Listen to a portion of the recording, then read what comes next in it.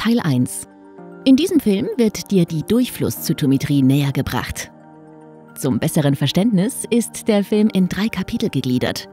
Wenn du die Basics also bereits beherrschst, kannst du weiter zu Kapitel 2 Messung und Generierung der Ergebnisse oder Kapitel 3 Färbung springen. Durchflusszytometer sind heutzutage klein und handlich und passen auf jeden Labortisch. Das Analyseprinzip eines Durchflusszytometers kannst du dir wie ein automatisiertes Fluoreszenzmikroskop vorstellen. Man kann mit dieser Technologie generell jegliche kleinen partikulären Strukturen untersuchen, wie beispielsweise Zellen, Fetttröpfchen, Nanopartikel, Sporen, Chromosomen, Bakterien, kleine Lebewesen wie Amöben, Algen, Würmer, aber auch Fasern, Suspensionen von Feststoffen aus Farben, Baumaterialien oder Erde, Lebensmittel, Umweltproben, medizinische Proben und noch vieles mehr. Um zu entscheiden, ob diese Maschine für deine Analyse geeignet ist, solltest du das Grundprinzip verstanden haben. Moderne Durchflusszytometer können 96 Proben in kürzester Zeit automatisiert messen. Hierbei sind nur ganz kleine Volumina von wenigen Mikrolitern nötig. Zur Vereinfachung stellen wir in diesem Film das konventionelle Einbringen über ein Probenröhrchen dar. Die Probe befindet sich in einer wässrigen Flüssigkeit. Hochpräzise Pumpen überführen die Probe in das Durchflusszytometer. Je präziser die Pumpe den Volumenstrom fördert, desto genauer kann man während der Analyse auch Aussagen zur Konzentration der partikulären Strukturen in der Probe treffen. In der Fachsprache der Durchflusszytometrie nennt man eine partikuläre Struktur Event. Durchflusszytometer messen mit Geschwindigkeiten von 35.000 Events pro Sekunde. Die Probe wird in eine Quarzküvette gefördert. Durch die Düsenform im Innern der Quarzküvette und das Vorbeiströmen der Hüllflüssigkeit, in der Fachsprache Schieß bezeichnet, erfolgt eine hydrodynamische Fokussierung. Ein Event nach dem anderen bewegt sich wie an einer Perlenkette aufgereiht in Richtung Messort.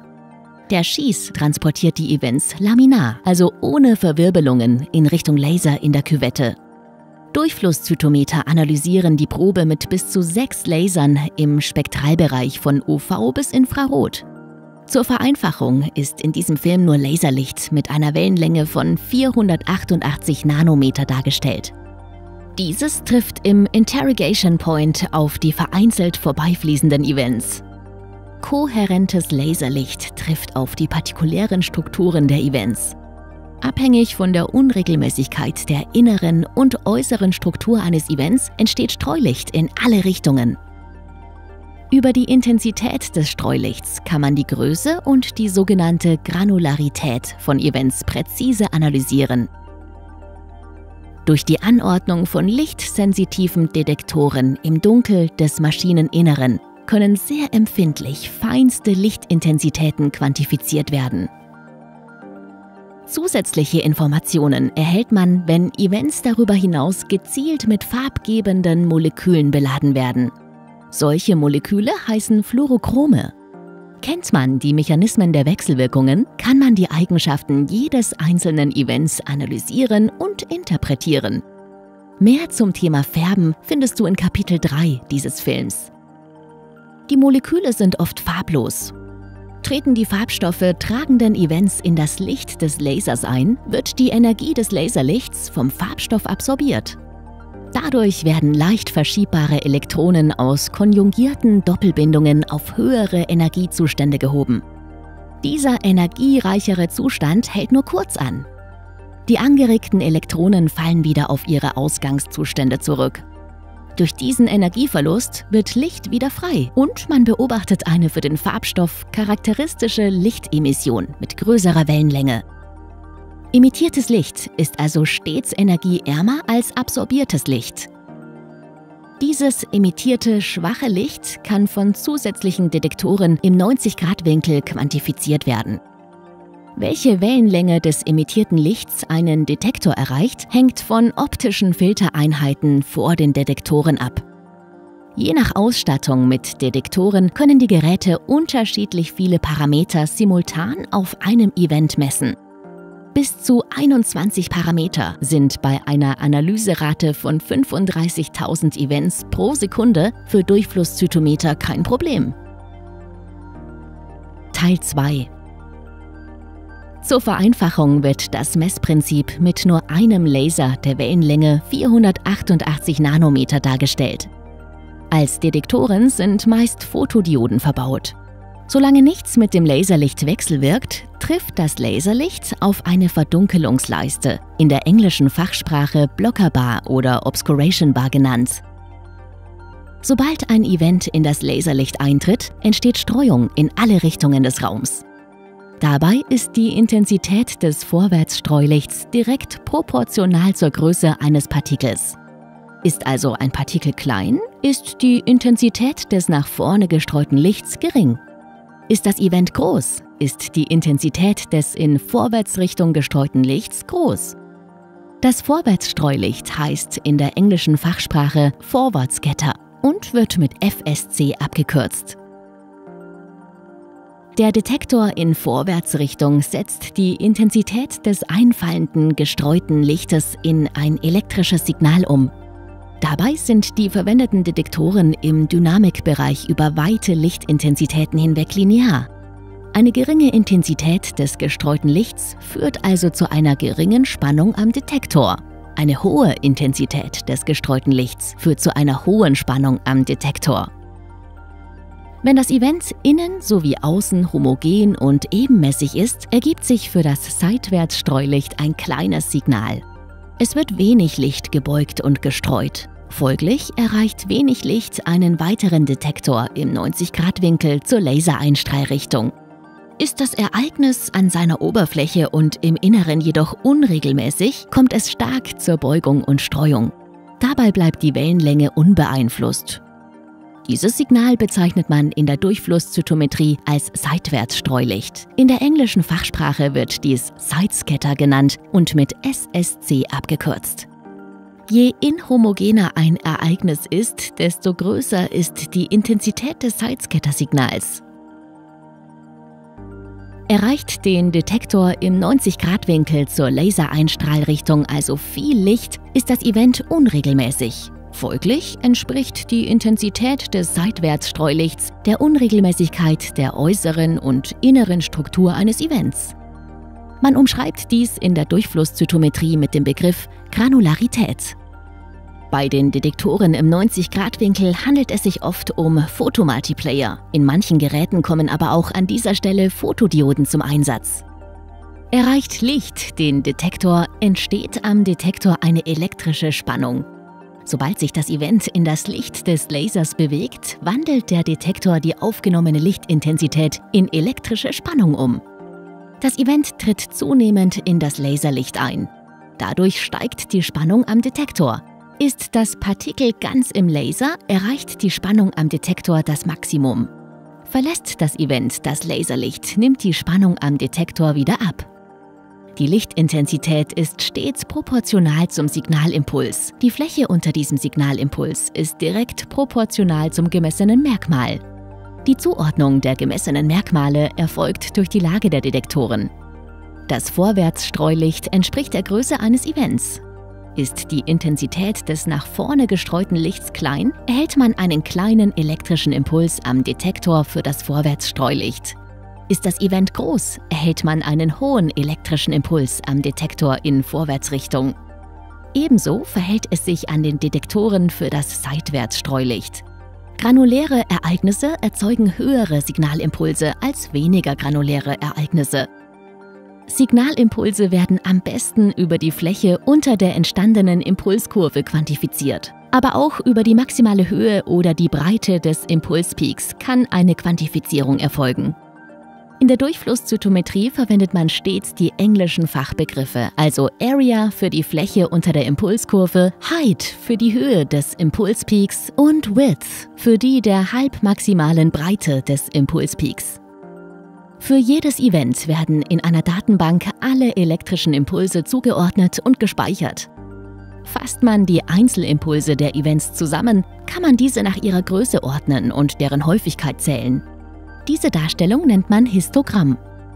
Man kann allerdings auch zwei Merkmale gegenüberstellen. Diese Darstellung nennt man Dot Plot, weil jedes Event einem Punkt im zweidimensionalen Raum entspricht.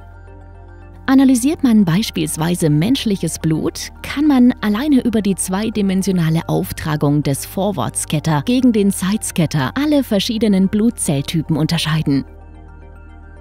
Im 90-Grad-Winkel sind je nach Gerät zusätzlich eine Vielzahl von Detektoren angeordnet. Vor jedem Fluoreszenzdetektor befinden sich optische Filter, die nur Licht eines extrem engen Wellenlängenbereichs zum dahinterliegenden Detektor durchlassen. Jeder Fluoreszenzdetektor quantifiziert nur eine einzige Farbe aus allen simultanen Fluoreszenzintensitäten. Ungefärbte Events besitzen häufig eine Autofluoreszenz und ordnen sich im Blot links unten ein. In der Animation verfolgen wir zur Vereinfachung nur die Signale der Lichtintensitäten für grünes und gelbes Fluoreszenzlicht. Färbt man Events mit unterschiedlichen Fluoreszenzfarbstoffen, so erzeugen diese an den Detektoren quantifizierte Lichtintensitäten entsprechend der Anzahl der Fluorochrommoleküle auf den Events. Je mehr gebundene Fluorochrome, desto höher ist das Detektorsignal. Da die verwendeten Detektoren im Dynamikbereich über weite Lichtintensitäten hinweg linear sind, kann die Intensität der Fluoreszenz quantifiziert werden. Eine doppelte Beladung mit Fluorochromen erzeugt ein doppelt so intensives Fluoreszenzlicht und damit eine doppelt so hohe Intensität des Detektorsignals. Bandpassfilter vor den Detektoren lassen nur die Transmission der durchgelassenen Wellenlängen in engen Bereichen zu. Die Emissionen der Fluoreszenzfarbstoffe können so selektiv einzelnen Detektoren zugeordnet werden. Teil 3 es gibt Fluoreszenzfarbstoffe, die sich in Erbinformationen einlagern. Damit kann man differenzieren, ob Events lebende oder tote biologische Einheiten sind oder ob es sich um organische oder anorganische Baustoffe handelt. Man kann Fette, auch Lipide genannt, anfärben oder Kohlenhydrate, also Zucker, durch Farbstoffe sichtbar machen. Auch Eiweiße, in der Fachsprache als Proteine bezeichnet, lassen sich mit einer Vielzahl an Molekülen spezifisch nachweisen.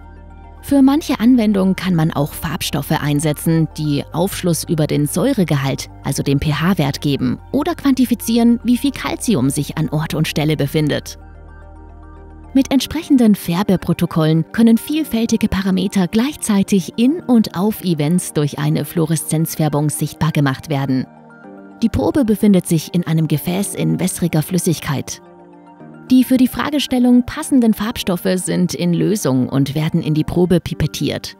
Dabei ist es die große Herausforderung, das Experiment so zu gestalten, dass die Farbstoffe in ihren Spektralbereichen nicht zu stark überlappen und durch die optischen Filter vor den Detektoren getrennt analysiert werden können. Durch unterschiedliche Affinitäten der verwendeten chemischen Strukturen folgt die Färbung einem reaktionskinetischen Prozess. Passende Strukturen wandern zu passenden Gegenstrukturen. Farbstoffmoleküle versuchen sich an ähnliche Bindungspartner anzudocken. Ähnlich wie beim Puzzle, wenn die Ähnlichkeiten nicht perfekt ineinander passen, trennen sich die Farbstoffmoleküle wieder ab.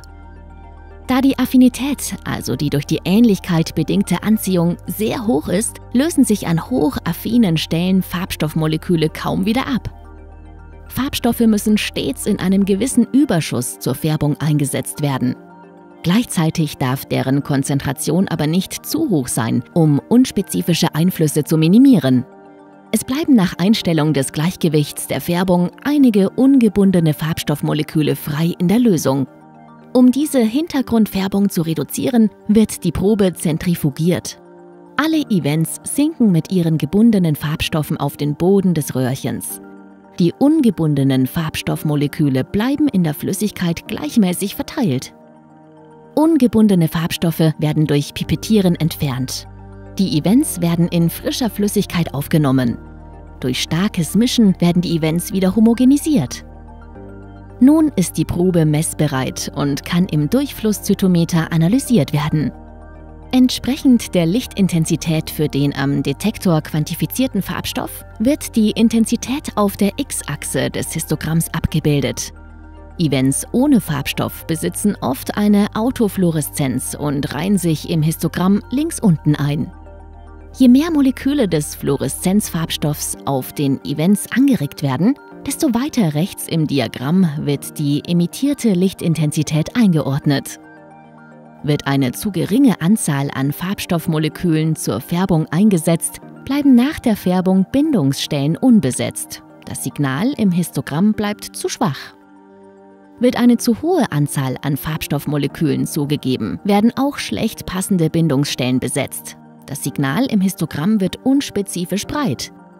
Es ist also stets wichtig, das verwendete Färbeprotokoll auf die eigene Anwendung zu optimieren, um bestmögliche Ergebnisse zu erhalten.